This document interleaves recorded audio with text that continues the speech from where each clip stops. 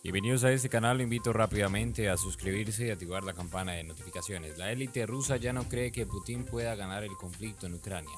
Solo esperan que Rusia pierda sin humillación. Muchos miembros de la jerarquía política y empresarial están cansados de la invasión y quieren que termine aunque dudan de que el presidente vaya a detener los combates.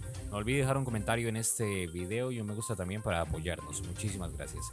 La élite rusa está cada vez más preocupada por las perspectivas del conflicto en Ucrania del presidente Putin e incluso los más optimistas consideran que el mejor resultado para el Kremlin es un conflicto congelado.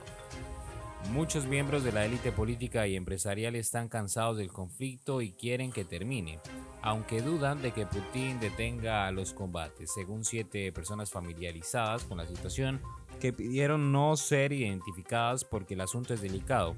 Aunque nadie está dispuesto a enfrentarse al presidente por la invasión, la creencia absoluta en su liderazgo se ha visto sacudida por ella, dijeron cuatro de esas personas.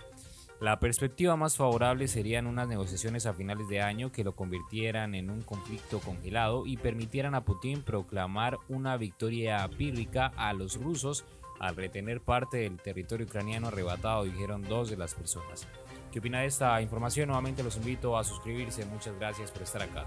Noticias al día. Los ataques con drones en territorio ruso son cada vez más frecuentes. Moscú culpa a Kiev, que niega tener nada que ver, aunque no oculta su satisfacción.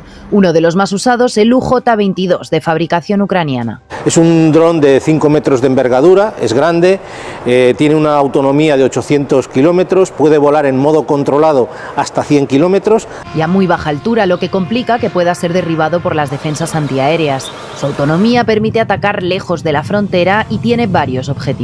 El efecto de demostrar que son capaces de llegar hasta la propia capital eh, rusa, pero luego también hay otro efecto y es devolverle un poco la pelota de lo que está haciendo Rusia sobre Ucrania a la hora de saturar sus defensas antiaéreas y obligarle a consumir unos misiles antiaéreos que cada vez son más escasos. Estados Unidos pide a Ucrania que no ataque territorio ruso. Para Reino Unido es la respuesta a meses de invasión. Hasta ahora la Unión Europea se ha mantenido al margen. Para Rusia sería una excusa el decir, estáis facilitando a, mi enemigo un armamento con el que me puede golpear en mis ciudades.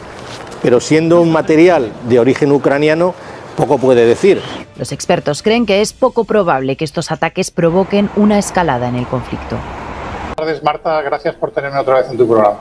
Gracias a ti por estar aquí con nosotros, Jorge. Em, comienza la gira europea ya desenviado de China, Li Hui, em, primera parada en Ucrania va a hablar, bueno, no sabemos muy bien si va a hablar con Zelensky o no, porque no hay confirmación de momento, tampoco hay confirmación sobre si va a hablar con Vladimir Putin o no, pero sí que sabemos, aunque todavía no confirmado por el gobierno chino, lo que se dice en medios de comunicación es que visitaría Ucrania, Alemania, Francia, Polonia y Rusia. ¿Qué podemos esperar, Jorge, de esta visita? ¿Algo más allá de algo puramente diplomático o vamos a llegar a algún tipo de acuerdo o de avances significativos en las negociaciones entre eh, China y bueno eh, Ucrania, haciendo un poco China de mediador eh, con, Rusia, ¿no? Bueno, sobre el viaje de, como has dicho muy bien, de Li, perdón, Li Hui a Kiev, y tú también lo has dicho, es muy importante, no es una visita a Ucrania, es una gira europea y el, diablo está en los detalles. La gira europea está organizada de tal forma que comienza en Kiev, sigue en Varsovia, París, Berlín y donde termina, termina en Moscú, es decir, en Rusia, el gran socio actual de China. Por lo tanto, eh, da toda la impresión de que Li Hui va a sondear el estado de ánimo del gobierno ucraniano de Zelensky, va a escuchar a los más importantes países europeos y con toda esa información recogida va a sentarse con la diplomacia eh, rusa para ver si hay realmente posibilidades de que pueda jugar ese papel de intermediación que China ha dicho que estaría dispuesto a, jugar. Yo soy eh, escéptico, ya te lo digo, Marta, porque Zelensky viene de su propia gira europea de, esta de estos últimos días, donde ha dicho en Roma, dijo que él tiene preparado un plan de paz de 10 puntos, pero que no nos lo puede contar todavía y que no le va a gustar nada a Moscú y que además si Moscú no la acepta eh, no hay nada que negociar. Lo cual eh, pues habla muy poco eh, en favor de que en Kiev haya realmente espíritu negociador, porque claro, delante, poner por delante un plan de paz que no es público como los 12 puntos que China hizo públicos hace ya algunas semanas y además dice que son condiciones innegociables y que, si, y que no le van a gustar a la otra parte, no parece que ese sea el mejor eh, clima para empezar una negociación. Creo que sobre el tema de la del posible acuerdo, lo más interesante de, de estas últimas horas, de esta última semana, es que el ruido en Estados Unidos, y cuando hablo del ruido estoy hablando de declaraciones públicas del secretario de Estado de Estados Unidos, Anthony Blinken y otros, es que si falla esta supuesta contraofensiva que Ucrania lleva anunciando desde el mes de febrero, esta va a ser probablemente la última oportunidad militar de Ucrania que Estados Unidos y Occidente esté dispuesto a apoyar. Eh, por lo tanto, no, no, no pinta muy bien para la situación de Ucrania porque en Estados Unidos quieren salir de este, como dijimos la semana pasada, atolladero en el que están metidos, la campaña electoral está bien en marcha y, en el terreno militar estamos viendo que hoy mismo ya están anunciando las tropas ucranianas se están retirando de Marinka, se están retirando de Bakhmut.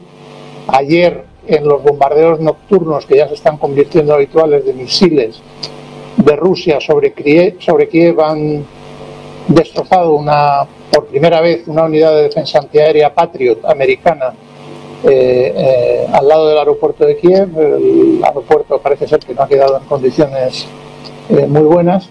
Y el día 13, el sábado, vimos estas imágenes sobrecogedoras y espectaculares del bombardeo ruso sobre un almacén de municiones y armas y petróleo en la ciudad de eh,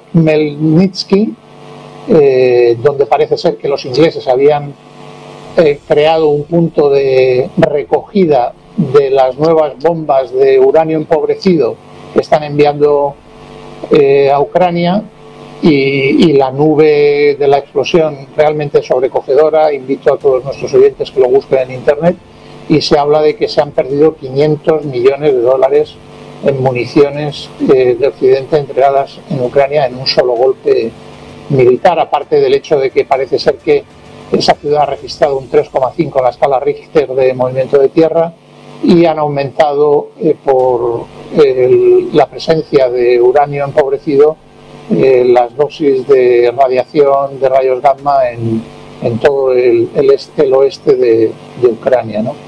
Por lo tanto, sí, la diplomacia china sigue a lo suyo, sigue haciendo su trabajo, hace una visita que concluye en Moscú, lo cual en sí mismo es muy significativo. Eh, Zelensky no parece dar señales que quiera entrar en serio a una negociación por las cosas que dice cuando viaja a Europa y vemos que Estados Unidos cada vez está más impaciente mientras eh, militarmente los rusos van avanzando en sus objetivos militares. Ese sería mi resumen de la situación.